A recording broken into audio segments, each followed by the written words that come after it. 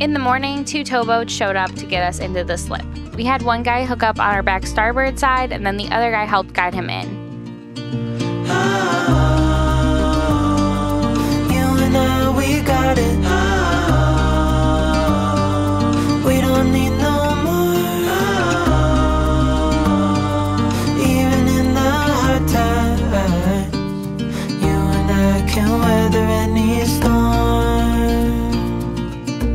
They slid us right into the slip, no problem, and then we hopped into our dinghy and tied up on the dock so they could lift Thalia.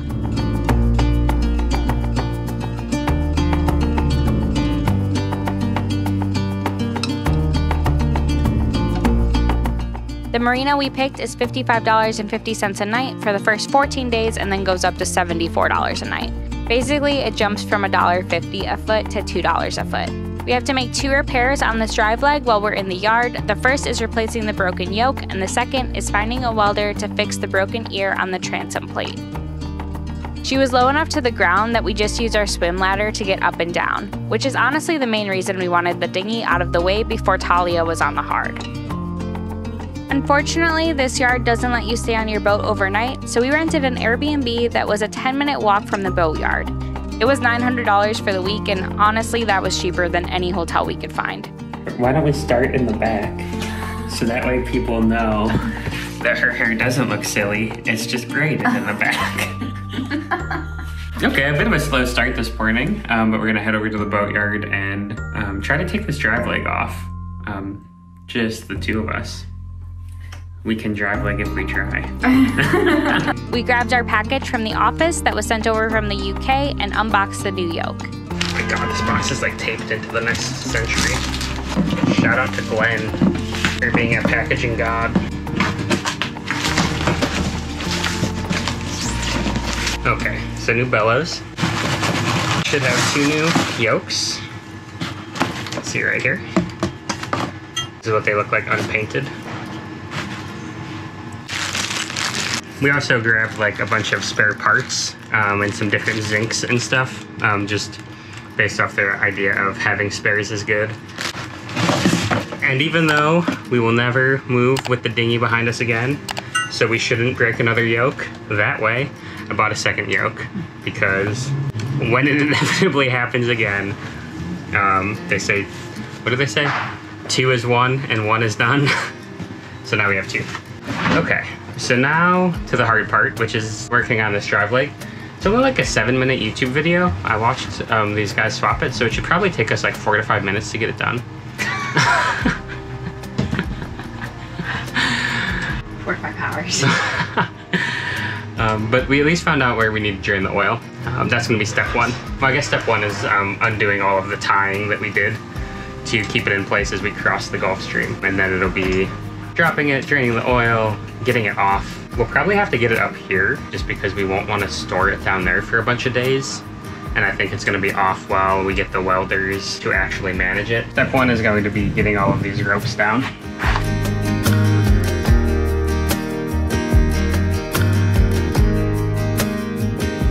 Okay, so lastly I'm gonna go up and then drop this red one, and then we're gonna I'm gonna like like slowly lower it via the line up there, and I just want you to kind of help it down.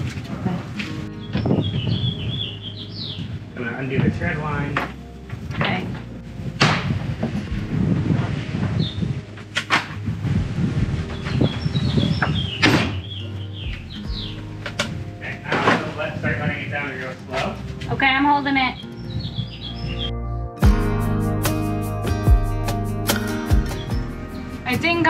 All the way. Okay, try to like, pull it down a little bit. Pulled on the rope, but the actual leg isn't moving. Okay, hold on. I'm coming. Just hold on to it like you can support it. Okay. Ah. Sorry, love.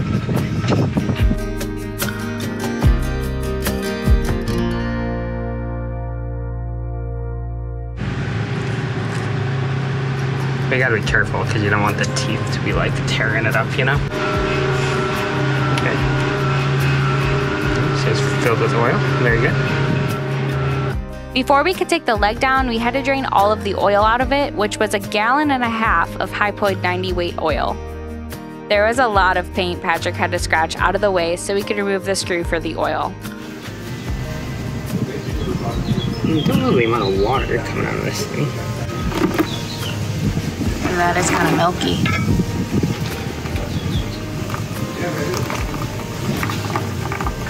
It is like a different texture of oil, but there was definitely some water coming out of there first. That being said, it is a thing that sits completely underwater all the time. So I wouldn't be surprised if there was a little bit of water in there. Be about 75% of this bucket worth.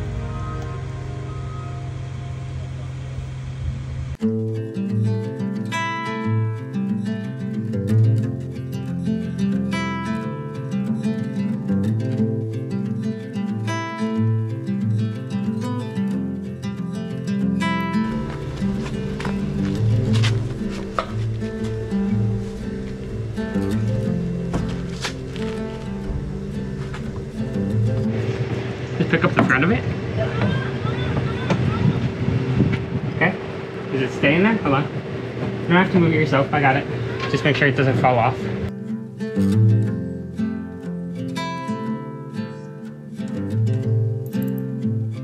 So just me at the boatyard for right now as Michaela's working on our next vlog. I've been kind of thinking a lot about this and I'm trying to like weigh the pros and cons, but I think we might have to take the transom plate off, which is going to be one, super difficult, two, kind of like a lot of unknown unknowns, which is like a little scary, um, but should be okay. I'm just uh, worried about the fact that if we do have to heat up the transom plate so much and we don't take it off, there's not really a way of knowing how the heat transferred through the plate and affected what was behind it. Now, like in a perfect world, if it can happen quickly enough, um, it'll be localized to just the area that needs to be welded, and then we wouldn't have to worry about it. But it's like if you're if you start welding it there, and then you have to take the transom plate off anyway to find out what's behind it, then it'd just be easier to weld it off. But for right now, we're just going to continue to get this uh, yoke off so that the welder can kind of like see practice on it a little bit, um, which means we just have to remove this one pin.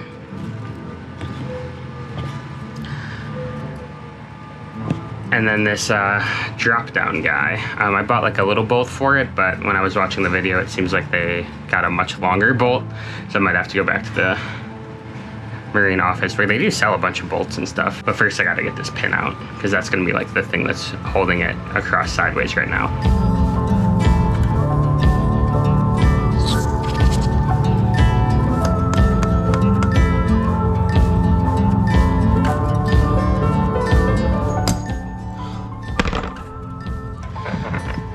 Legitimately took them like two seconds in the video to pull this thing out.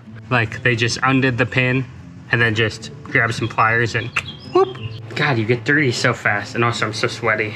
Man, it's just tough when you're so new to this and like just new to a lot of like the concepts in general. Like I'm trying to get this pin out and it just doesn't want to come out. And I'm like, okay, well, I guess I'm Googling maybe how to loosen it. I've been tapping it with a hammer and it's coming out like very slowly. But I'm like, I don't know if that's gonna break it or if that's gonna bind it up as it like goes through the tube. Every little bit of this is a struggle. But we'll get through it. Okay, I changed my shirt because I had to go in the store and I felt uh, kind of gross being in a completely sweated through one. So we got a much longer bolt, same size, same threading. So hopefully we can get this a little farther in and then be able to pull this out.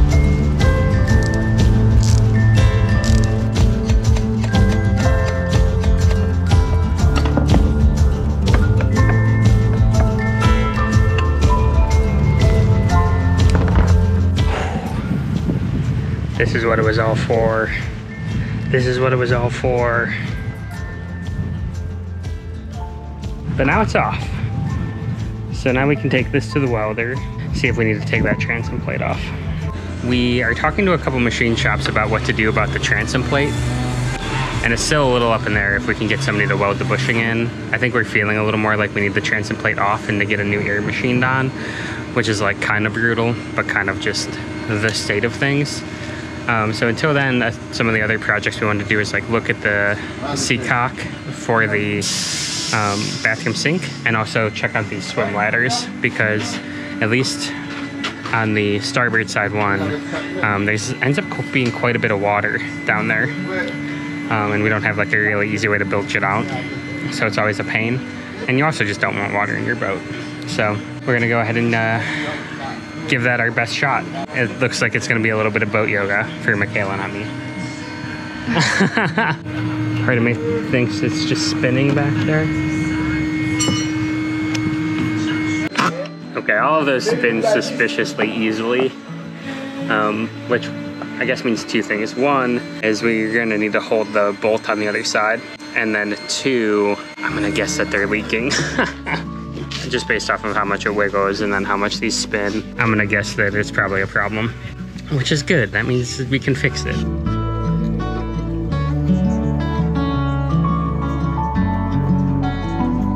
Need a screwdriver maybe? Patrick was up there reaching through the hull to keep the nut in place while I unscrewed the bolt, but for the lower ones, he had to go inside. Now we have to get the last two bolts, which are definitely the trickiest bolts to get. It is going to require some immense boat yoga to get behind that pole. So let's see if we can make that happen.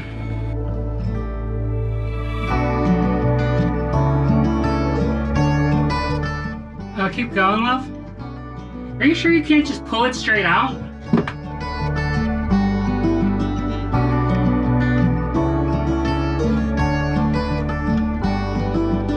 This is what was waiting for us behind the swim ladder, or swim step as I like to call it. Definitely could use some love though.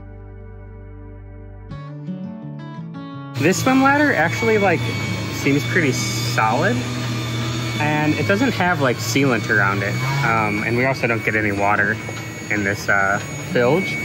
So it makes me kind of think that maybe this one's in good enough shape to leave it for now. But that other one definitely uh, was not happy. Definitely was not happy. Like you know, the other ones we could like spin. You could just spin it with your hand, you know. This is the chaos of uh, doing boat work projects. Just like every single tool we have, just kind of hanging out, ready to go. It's like slightly frustrating that this marina doesn't let you stay on your boat while you're here, but on the other side, it's super hot and we have stuff everywhere. So part of me is like, maybe that wasn't the worst thing in the world to not have to live on the boat while we're doing this. Speaking of having to stay somewhere else, we were paying about $900 um, for a week in this Airbnb. We saw that they had no bookings, so we reached out and asked if we could pay in cash and do a little bit less money, um, and they agreed to that. So getting a little bit more of a deal here, uh, which is great because this is costing us quite a bit of money. Speaking of money, we realized we were going to be in the yard for more than one week and needed to be able to get around and run to hardware stores, so we ended up renting a car, which was $260 a week. I feel a little bit emotional not being here every day. I mean, we've been here every day, but not living on the boat full time. Yeah, um, it's like coming and visiting our home. Um, it's a little bit in disrepair. I know, it makes me like want to cry, like seeing her on the hard. I don't know why. It's okay, we're fixing it up. Um, today was like a day filled with like a lot of meetings and we picked up our rental car because we're going to be here another week and we just need to start getting around um, to start buying stuff and taking the transom plate to a machine shop so it just kind of made sense. We're just gonna look at the inside of the engine compartment and start trying to figure out like okay well how does this transom plate attach? I know it's glued on super well which is going to make it terrible to get off and then we'll have to glue it on super well again. But that's that's okay. Yeah, let's just give it a look. Hit Home Depot. Um, I know I need to get like some scraping pads. So I wonder if we can just kind of like cut up this way. And then we can kind of like glue it back on. Okay, so I think we're just gonna try to draw where we're gonna cut on the sound insulation. And then just like get it up. It's a little sad because Casper did such a nice job on it, but the world must go on.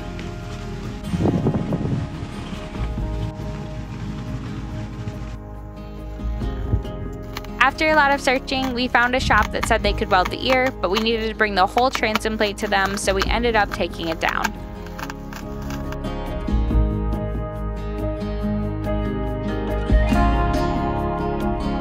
It's almost like we measured it. Our insulation surgery went pretty well, I'd say. We can now see all six bolts. Looks pretty standard stuff. These guys all look like really clean and good shape, no corrosion. So that's all dandy. 17 mil is the right size of these bolts, or I guess these nuts. Um, we're just gonna give them like a little spin to see if they move. Um, and then we'll see if we need to like put some kind of like penetrating oil or something on them. That one I already loosened. Same with that one. that one I did not, and that, that one was pretty good. God, Casper with his zip ties. El Diablo. Is that what you were looking yeah, for? that was exactly the take I wanted. Good. I think these are the things we want. Uh, these are adhesive scrapers that we'll put on our little like bush. I don't exactly know brushless sander or something it's called. Uh, we have like a DeWalt one. Um, I bought it because it's good also for. Ah, here we go. For like sanding pads. Um, it'll just like sand a little area for you, um, which we may want to grab some of those as well adhesive scraper I think is going to be very helpful in getting the transom plate off because we'll kind of run the edge of it and then we'll probably run like a high a high tension fishing line or something and back and forth and back and forth just to pull the transom plate um, kind of off the glue. Here's what a wire brush looks like. It's like a brush, Ow. but it's wires. ah, okay. All of the bolts are loose. So now a bit of the trickier part well not the trickier part but a trickier part is like how do I go ahead and disassemble this bit enough to get this stuff out of the way so we can get the transom plate all the way off.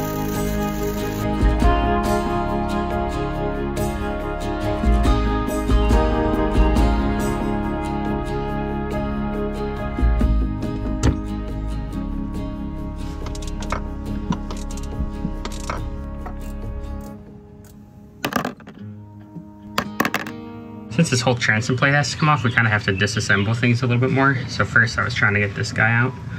Um, that's like the straight piece of metal. It's connected to like the drive leg lever up in the cockpit, the one by the floor.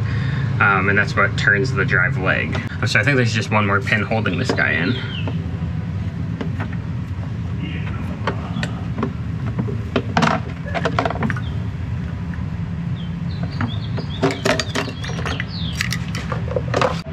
And that is it. We can see into our boat now. Is kind of crazy. Uh, I'm also just gonna disconnect the uh, the drive leg lever. Uh, I think I'm gonna leave all of this up here, um, but just get this loose enough that it'll come off with it because it is all pretty connected up. I think it's a little more threaded than you would think. Cause she's my best friend's girl. Touch of rust in there.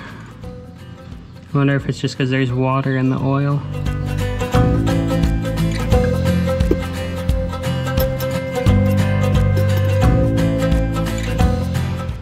So this boat's starting to come out, just with like a little taps on the other side. Um, which is good, which is good. But the thing we're gonna kind of run into here is like this thing's super glued down. So we have like our brushless our brushless motor with a flexible scraping edge. And I'm hoping we can kind of just like start around the edges and then maybe figure out a way to like work our way down around the bolts etc it's not very sharp though so I'm hoping we don't do any damage to the boat. Um, but if we do we'll figure that out too. I talked to Casper and I think like starting with maybe like a more manual just scraper would be a little better off than trying to start with this tool that kind of can go all over the place. So I'm gonna give that a go. This one seems to be working quite well.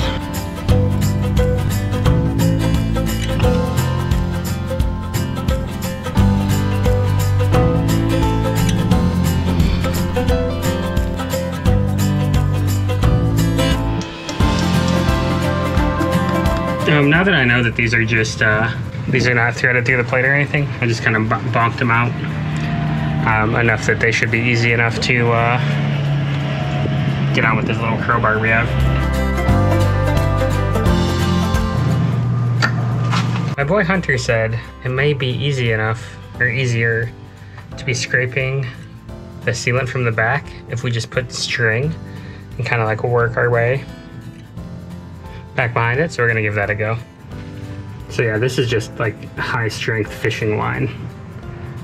I don't know why it's pink. Let's just. Uh...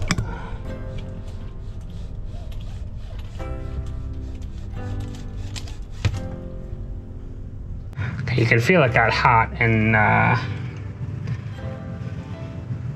immediately broke. So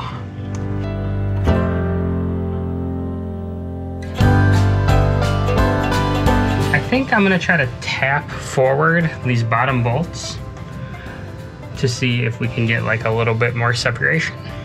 Like this screw that holds on the lock um, lever, but it's like in the way of the bolt. So I don't quite get that. Um, but tapping forward, the other one seemed okay. So we're just gonna go ahead and give that a go. And I think we're almost there, honestly, which is pretty insane. I'm fully aware that there's an O-ring back here that we're probably destroying. Um, I think we're gonna have to do one of those like DIY O-ring kits to like make a new one. Uh, the more you look at this, the more it looks more like uh, it's more art than science when it comes to like these old boat parts. I'm sure. Uh, I'm sure when we have like a, is it worth it to buy like an old catamaran?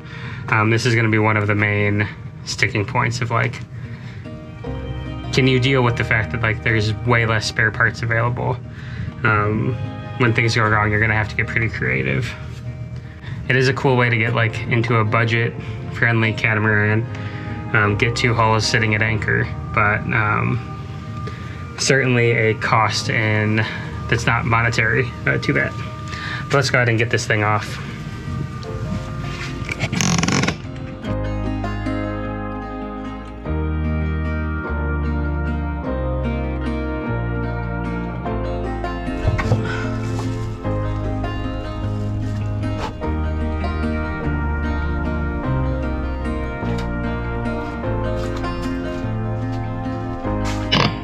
beautiful.